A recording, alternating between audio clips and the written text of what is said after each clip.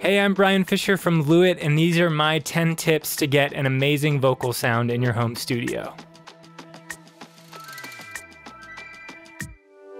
I've been recording and mixing my own music for the past 10 years, and recording and mixing for others the last three years, primarily from my home studio, and I've learned a ton through trial and error. I'm going to be speaking primarily to recording yourself in your home studio, but these tips definitely apply even if you're recording somebody else.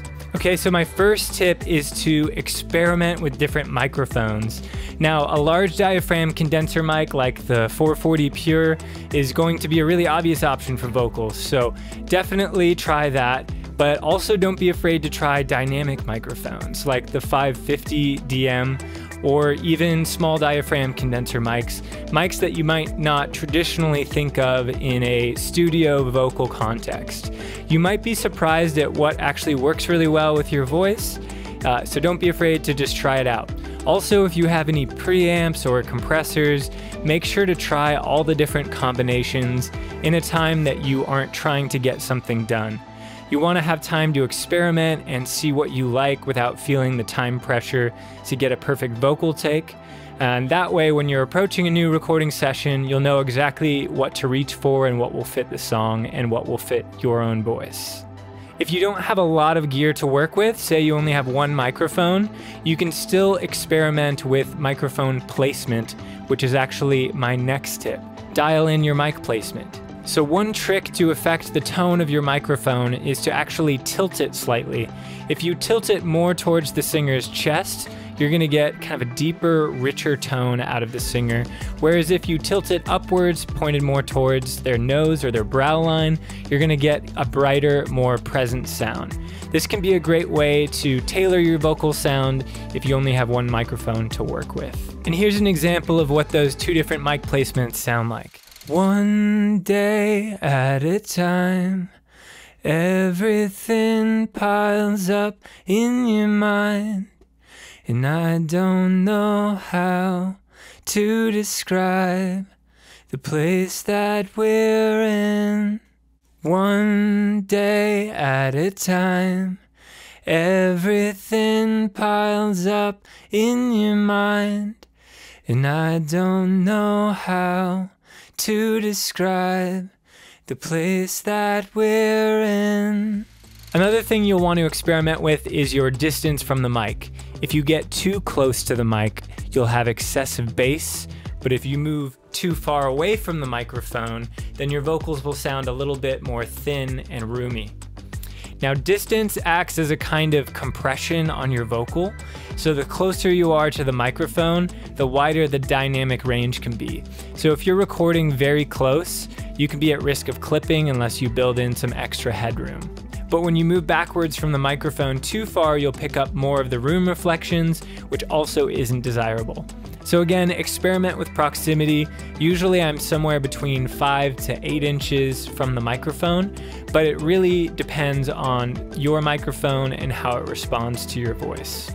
All right, another thing you can do with mic placement is get rid of plosives by recording at an angle. So you can see I have the microphone just to the side of where I'm speaking. So my plosives are going straight out and not going into the capsule. This is a good way to make sure that you're not overloading your mic with those bursts of air with consonants like B and P. Um, but I would also recommend getting a pop filter so that you can experiment more with mic placement and not feel limited by having to always do an angle. Luckily, a bunch of the Lewitt condenser mics come with a magnetic pop filter, so you can just use that. Okay, tip number three is pay attention to room acoustics and the placement of the vocalist in the room. So, ideally, you want some kind of acoustic treatment, either acoustic panels or sound absorbing foam. You want to be in a room that isn't super live, that doesn't have an obvious kind of slapback echo. Um, so, even recording in a room that has a lot of soft furniture, couches, or a bed can actually help and be preferable to recording in just an empty space. Another thing you can do in a pinch is put blankets over microphone stands. I choose to do this sometimes and place it right behind the vocalist so that I don't get any echo off the back wall coming into the microphone. Typically, you're recording with a microphone that has a cardioid polar pattern and is really good at rejecting things behind it anyway. Reflection filters like this one can also help reduce unwanted reflections from bouncing around the room and getting into your microphone, but it's most effective if you have another form of acoustic treatment like a baffle behind you in addition to a reflection filter in front of you. Some people might recommend using your closet as a sort of vocal booth, but if you do that, I recommend opening the closet and placing the mic in front of the clothes and singing towards it instead of actually singing inside of the closet, because that can create additional coloration and boxiness in your recording when you're singing in such a small confined space. Another thing to pay attention to besides just acoustics is placement in the room. If you're right next to a wall, that's going to produce more reflections. If you're right next to a window, that's going to produce potentially some slapback echo. And if you are recording in a corner, you might have excess bass buildup in the room as well. So it's best to be kind of more towards the middle of the room or at least away from the walls or corners. You also want to make sure that you're singing in a position where you can clearly see the meters to make sure that you're not clipping and that you're recording at the level that you intend to. This is especially important if you're also using processing like compressors so that you can watch the settings on the compressor and make sure you're not overdoing it. One thing to be cautious of is computer fan noise. If you have a newer computer, this might not be an issue, but some older computers can heat up and then the fan turns on, which can end up getting into your recording. So just be mindful of that. All right, tip number four is make sure you have a good headphone mix. This is crucial because you want to make sure that you can hear yourself well and that you can hear the music well. Often, what happens if your vocal is too quiet in your headphones is you end up over singing and kind of ruining your performance because you're fighting with the music to hear yourself. Similarly, if your vocals are too loud in your headphones, you might end up under singing and singing too softly to compensate for the volume in your headphones. So, you want to make sure you're at a volume that's comfortable. Another thing to watch out for is turning up the preamp gain because you can't hear yourself. Ideally, you want to be turning down the music and not turning up your own vocals so you don't risk clipping. And if you don't have an interface that allows you to make a custom headphone mix or to monitor yourself directly, one trick that I'll use is bouncing the instrumental and bringing it into a new session. That way you can reduce latency and easily change up the balance of the music and your vocal. Another piece of advice is to use a little bit of reverb on your vocal. This tends to help with intonation. And you also want to use any major effects that you're going to be mixing with in the tracking phase so that you know how to react to them in real time. I find if I'm using like a heavy slapback or distortion, I'll actually sing differently if I'm monitoring with that effect versus monitoring without it. And it can actually lead to a much better musical performance when you're reacting to the effect in real time. Okay, tip number five is record in sections. Now, one caveat for this is some vocalists are really good at doing full takes. And if that's you, more power to you. I've definitely worked with vocalists where they really get into the emotion of the song and they can nail it in one or two takes, start to finish. But I know for myself, it can be really helpful to tackle a song in sections so that I can focus on each section, the emotion of that section, and the delivery of the lyrics, and make sure that I'm really dialing that in. Another thing that's helpful is typically between verses and choruses, you have a larger dynamic jump. So your choruses are going to be louder, maybe they're in a higher register. So it can be helpful to adjust your preamp gain or your compressor settings if you're using one between those two sections. So one thing I'll do is record the verses first and then record the choruses later. I also like doing this because it allows you to save your voice. If you have a really loud dynamic chorus, you don't want to be tiring yourself out immediately. So sometimes tackling the quieter sections first can help you with vocal fatigue.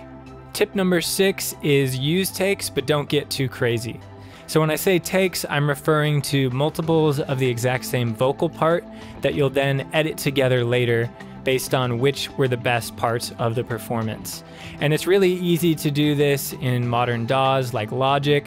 You can just record and record over the same part and it'll create a little folder of takes for you. I recommend limiting yourself to four to five vocal takes to make sure that you're getting a fresh performance because you start to tire your voice and lose emotion the more that you do. If you're needing more than that, you probably need to take some time away and practice it and then come back to it fresh. All right, tip number seven is don't be afraid to use a little bit of compression when you're recording vocals. Vocals are very dynamic and often require a pretty good amount of compression. I usually use an opto style compression and get maybe 2 to 3 dB of gain reduction, and this gives me some very transparent, natural sounding dynamics control. Compression can be really helpful for vocalists because it helps tame the extremes of their dynamic range you might end up self compensating and not singing as quietly as a part may require or as loud as a part may require because it's sounding really extreme in your headphone mix. Compression can help bring that together a little bit so that you really feel confident leaning into the emotion of the song and the specific moment that you're singing. Tip number eight is don't forget to record vocal doubles. Typically, when I'm recording a song in the chorus, I'll record two additional vocal doubles that I can hard pan left and right to create texture and width with the lead vocal and really elevate the chorus of the song. Sometimes I'll also do doubles of specific words or phrases in the verses to really kind of emphasize those and make them stick out and add variety in the song. So make sure to record vocal doubles so that you have those options for mixing later. Here's an example of how I used vocal doubles in a song of mine called Simple Life.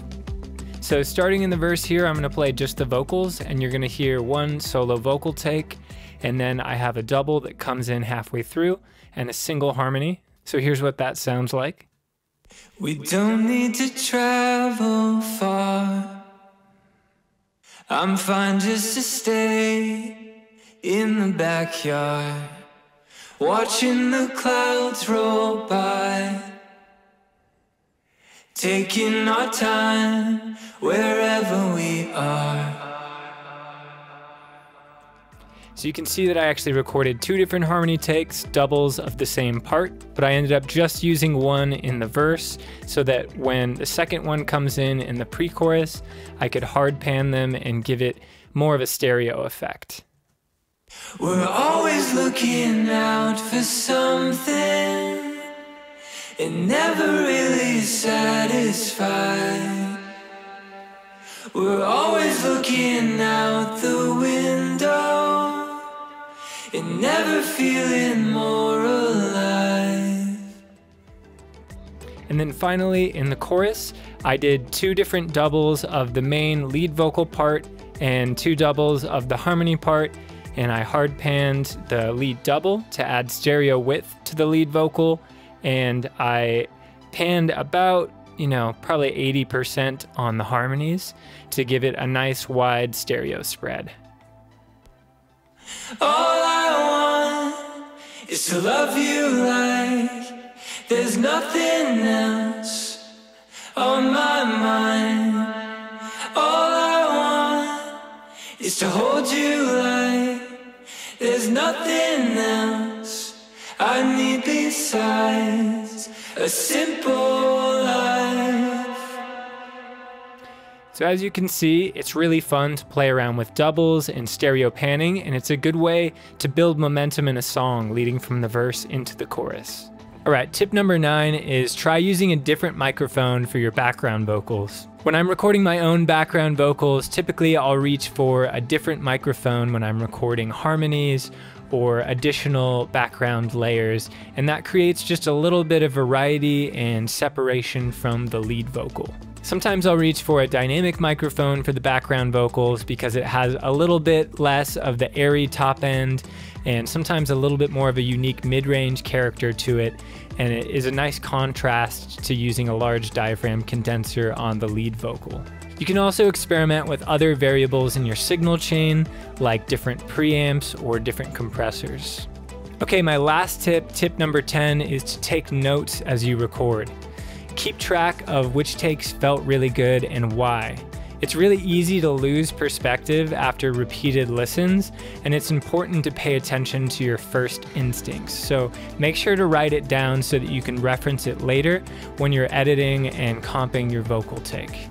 Alright, thank you so much for watching. If you found this video helpful, please like it, please subscribe to the channel, and if you have any questions or additional vocal tips, be sure to leave them down in the comments. Make yourself heard.